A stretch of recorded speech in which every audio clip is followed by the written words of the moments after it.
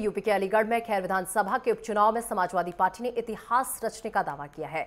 Samajwadi party doctor चारुकेन ने अपना नामांकन दाखिल किया है। आपको बता दें कि समाजवादी पार्टी ने भाजपा पर परिवारवाद का आरोप लगाते हुए चुनावी रणनीति बनाई है। डॉक्टर चारुकेन जो पूर्व जिला पंचायत अध्यक्ष चौधरी तेजवीर सिंह गुड्डू की पुत्रवधु है।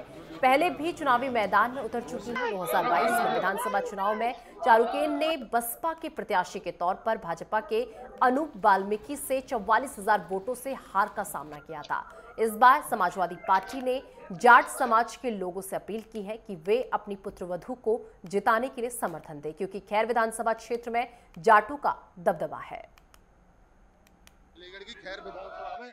और यहाँ पर आज सपा के संयुक्त प्रत्याशी ने पर्चा दाखिल किया है। हमारे साथ मौजूद हैं सपा प्रत्याशी डॉक्टर चारू कैन, जो किसी पर्चे की मोहताज नहीं है, जिनके ससुर जी तेजवीर सिंह गुड्डू यहाँ से जिला पंचायत अध्यक्ष रह चुके हैं।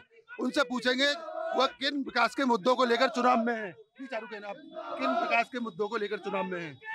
विकास के मुद्दे खैर और जटानी में रगने वाले रोज जामों से लोगों को राहत मिले बरसात में लोगों को राहत मिले क्योंकि इतनी सड़कें हैं बनने वाली बनने के लिए इतनी टूट फूट है सड़कों का निर्माण होना चाहिए वो वही मेरी प्राथमिकता है। आप अपनी फाइट किससे मानती हैं? देखिए मैं किसी से फाइट महँगाई अभी आपने देखा यहाँ पर हमारे साथ मौजूद थी सपा की संयुक्त प्रत्याशी डॉक्टर चारू कैन और उन्होंने बताया कि उनकी किसी से कोई फाइट ही नहीं है।